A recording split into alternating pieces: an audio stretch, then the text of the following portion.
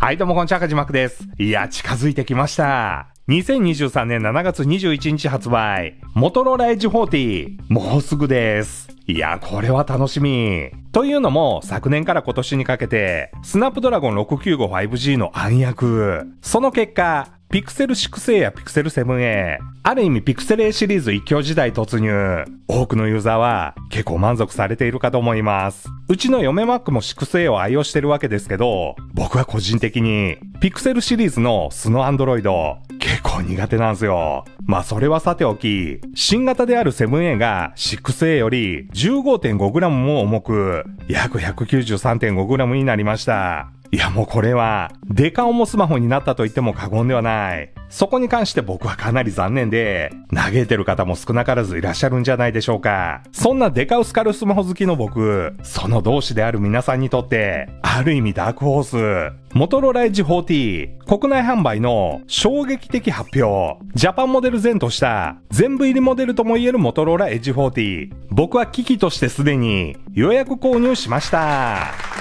ということで今回そんなモトローラエッジ40一体どんなものなのか？発売直前スペックなんかチェックしてみようと思います。それでは始めていきます。まずは今回ご紹介するモトローラエッジ40。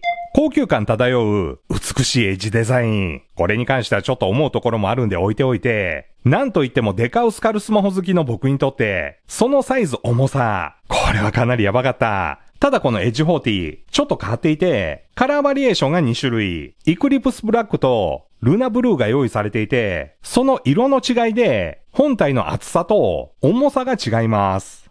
このブラックの方は、158.43×71.99×7.58 ミリ。重さは約 171g。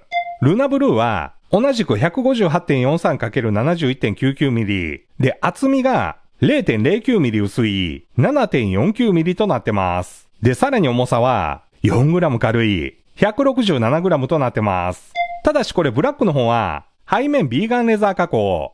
そしてルナブルーの方はアルミニウムとなってます。いやでもやっぱりこれ 167g っていう軽さ。それに惹かれて僕はルナブルーを選びました。で、こんなに軽いのに 4400mAh のバッテリーを搭載。やや小さめではありますけど、今使っている Mi 11 Lite 5G が 4250mAh なんで、いや、ここに関しては、デカウスカルスマホユーザーとして妥協すべきポイントです。ただし充電は 68W の急速充電に対応。15W のワイヤレス充電にも対応してます。このあたり Android スマホとしては結構珍しいですよね。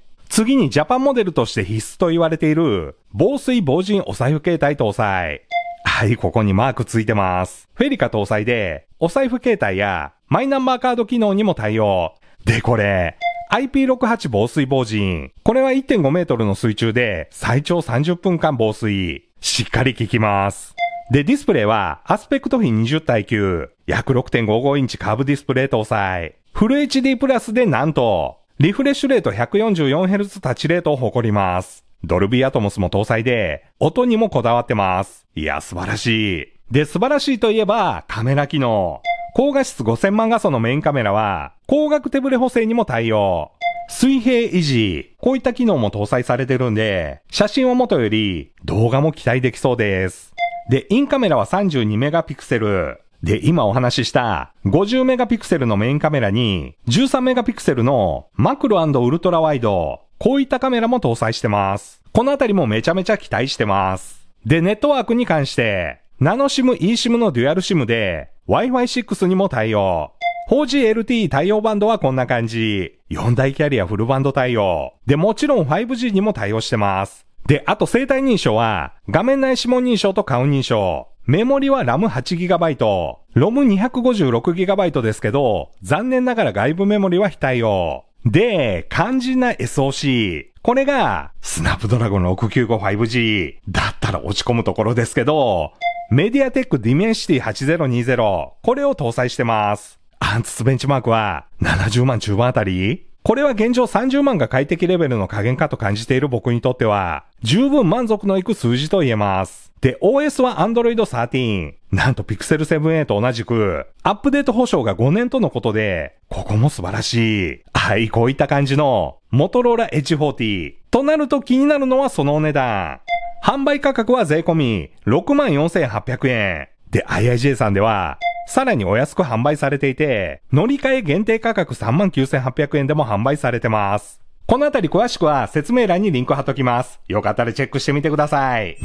いや、どうですか？かなりいい感じのモトローラ Edge 40。ただ個人的な懸念ポイントとしては、OS は Android 13。独自 UI の MyUX。これが僕に合うのか、Xiaomi の MIUI になりきってるんで、このあたりはちょっと懸念ポイント。で、冒頭でも少しお話しした、エッジであること。見た目はかっこいいんですけど、がっちりガードしたい僕にとって、保護ガラス探し難航の予感。ハイドロゲルフィルムが欲しいところです。で、さらに生体認証。画面内認証である部分。ここもちょっと使い勝手は気になります。で、あと余談なんですけど、ガルマックスさんの記事によると、 Dimensity 1100ベースの焼き直し SOC ではっていう、そういう指摘もありました。個人的にはそういう、ちょっと古めの SOC、それをアップデート的な手法も、ことこういったミドルクラスに関しては、ありなんじゃないかと思いつつ、 Dimensity 1100、2021年1月発表モデルなんで、気にならないといえば嘘になります。一応お伝えしておきます。とはいえやっぱり、差し引きめっちゃ楽しみ。2023年モデルダークホースにして、デカウスカルスマホの本命、モトローラエッジ40、皆さん買いますか？買いました？どうします？悩ましいですよね。僕は今回すでに予約注文してるんで、また届いたらご紹介したいと思います。ということで、2023年7月21日発売、今回モトローラエッジ40、スペックチェックしてみました。